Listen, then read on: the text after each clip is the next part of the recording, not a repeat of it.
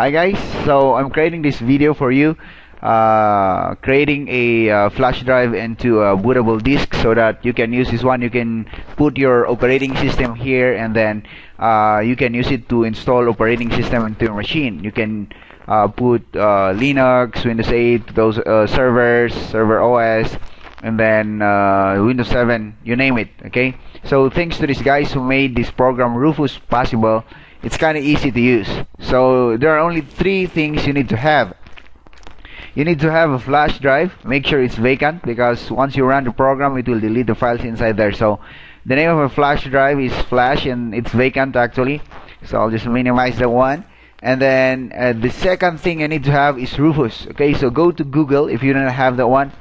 And then here go create bootable USB drives the easy way. It's already there.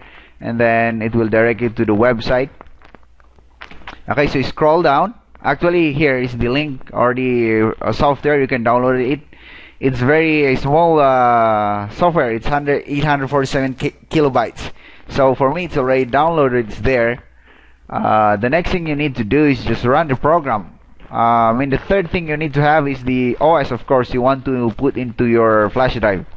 You cannot just copy this one to your flash drive uh, because it, it's not going to work. So you need the Rufus program. So I'm going to run this Rufus and then uh, there you go. If you have multiple flash drive plugged into your computer make no mistake please select the flash drive you want this as uh, OS to be installed in. Like mine is only one so it kinda detected it anyway. Just leave the uh, configurations that way click this one locate the OS so my OS is actually saved on my desktop. This is my desktop. It's right there name there. So I just want to use the Windows Server 2008 okay? So if you try to right click this one it's actually 1.75 gig. That's the reason why I want to use it because it's a small uh, amount of uh, files that's going to be copied. So I'm just going to click the one open. And then I just want to rename my flash drive with Win Server uh, 2008 okay that's it. 2008 and then we're, we're good to go. Just click start and there you go. Okay so warning all data on the device will be destroyed. So make sure you don't have files there because because it will uh, uh, delete that one. Okay?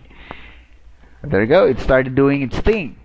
Um, so what's going to happen next is I'll, I'll just uh, post my uh, recording and then continue this one if it's nearly done so that uh, we can try to check if it really copied this one okay?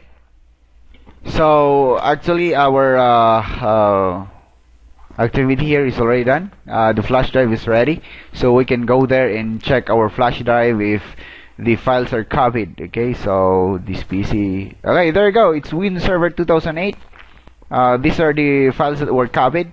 Now uh, you can uh, use your flash drive now to uh, install uh, Windows Server 2008 or you, if you have loaded other OS there then you can use that one. So see you next time guys. Uh, please visit my website. Uh, that's uh, icreateidea.com and then uh, I'll be having more videos to come and more articles here for you to uh, for your reference okay? So see you guys and then have fun